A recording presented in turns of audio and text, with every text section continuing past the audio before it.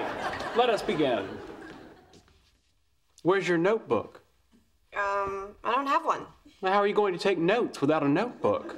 I have to take notes? Well, How else are you going to study for the tests? It's gonna be a test? Tests. Here, that's college ruled. I hope that's not too intimidating. Thank you. You're welcome. Now, introduction to physics. What is physics? Physics comes from the ancient Greek word physica.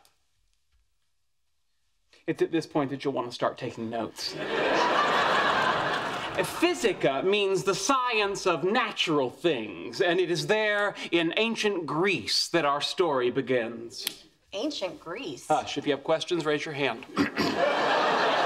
it's a warm summer evening, circa 600 BC. You've finished your shopping at the local market or agora.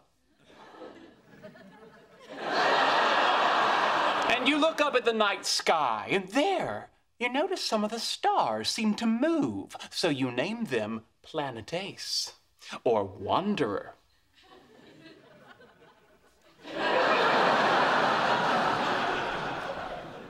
Yes, Penny?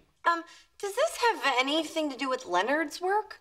This is the beginning of a 2,600 year journey we're going to take together from the ancient Greeks through Isaac Newton to Niels Bohr to Erwin Schrödinger to the Dutch researchers that Leonard is currently ripping off.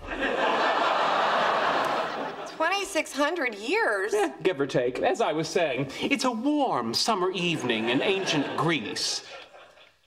Yes, Penny. I have to go to the bathroom. Can't you hold it? Not for 2,600 years. I-